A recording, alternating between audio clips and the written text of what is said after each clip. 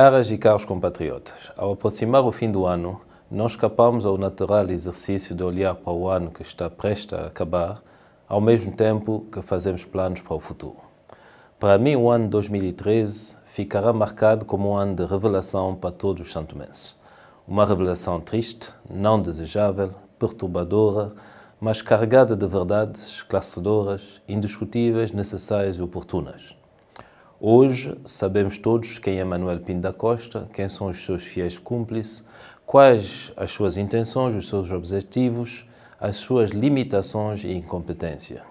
E, sobretudo, qual é a postura moral e ética desse grupo de homens e mulheres que, em nome de um povo, de um Estado, de uma nação e de partidos políticos, estão a aplicar um programa sistemático de aproveitamento brutal e pessoal do Estado e de todo e qualquer bem público ou riqueza nacional. Não há dúvidas que São Tomé e Príncipe regrediu este ano em todos os aspectos, particularmente no domínio da democracia, das liberdades, do desenvolvimento econômico e social, da transparência e no seu ranking internacional. Os santomenses estão hoje mais pobres, as empresas estão com mais dificuldades e os trabalhadores mais descrentes e menos motivados.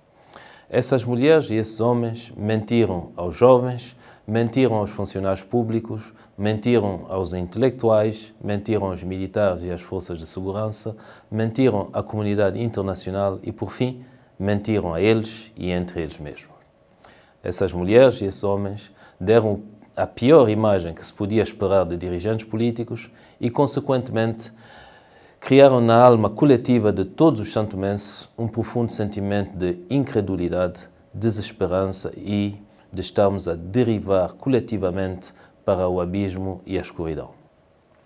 Conscientes do mal que estão a fazer, essas mulheres e esses homens isolaram-se, afastaram-se orgulhosamente do povo pequeno e da nação inteira, convencidos que somos um povo covarde que esconde e encolhe ao ver uma metralhadora ou um blindado com tanta certeza da sua força, venderam-nos arroz podre adquirido, adquirido com o nosso próprio dinheiro, recusaram arrogantemente dialogar com os sindicatos e os trabalhadores grevistas, destruíram obras da Câmara a favor dos jovens, abandonaram a região autónoma do Príncipe, deixaram morrer as pessoas no hospital sem medicamentos, impediram do seu emprego honesto pais de famílias, perseguiram e mancharam levianamente o nome de antigos e respeitados ministros.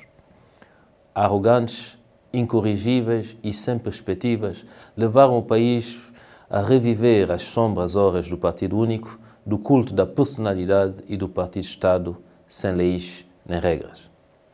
Este ano de 2013 foi realmente bastante revelador. O Presidente da República, Manuel Pinto da Costa, como político, jamais voltará a enganar os santomenses. Somos todos testemunha de uma revelação que nos elimina a todos e nos mostra as verdadeiras caras de quem pretende governar em proveito próprio. Uma revelação que deve dar-nos força, coragem, determinação e lucidez para percebermos o mal que estão a fazer ao nosso país e tudo fazer para que Manuel Pinto da Costa e os seus se submetem à lei, à vontade e ao voto do povo nas urnas o mais cedo possível e jamais após julho de 2014, como pretendem com o falso diálogo nacional manobra dilatória e de diversão inventada para esconder a sua incapacidade de colocar o país no caminho do progresso e do bem-estar. Estamos perante uma revelação que nos obriga, para a nossa própria salvação e dos nossos filhos, a combater com todos os meios ao nosso alcance este grupo que se instalou no poder até a vitória final, porque representam um perigo que ameaça seriamente o nosso futuro coletivo. O ano de 2014 não pode de forma nenhuma ser vivida da mesma maneira que o ano 2013.